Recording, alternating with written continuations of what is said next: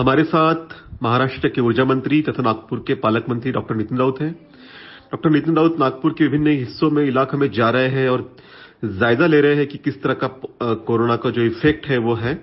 और साथ ही साथ नागपुर के जो व्यापारी हैं, इनको उन्होंने सख्त हिदायत दी है कि किसी भी तरह की मुनाफाखोरी, जमाखोरी या कालाबाजारी न करें। वो स्वयं जाकर लोगों को अपील भी कर रहे हैं कि किस तरह से फ़िज़िकल डिस्टेंस का पालन किया जाए।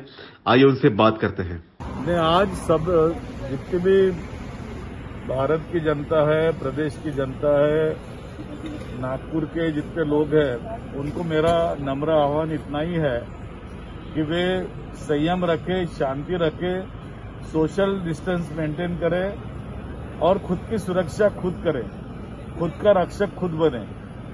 इससे ही हम कोरोना पर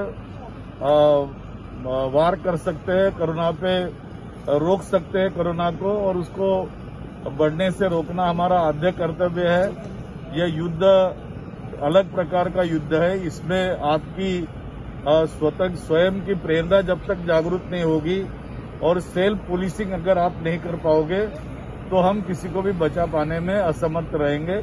इसलिए मेरी विनंती आपसे है, है की आप आपला रक्षक खुद बनिए। एक याच्याबद्दल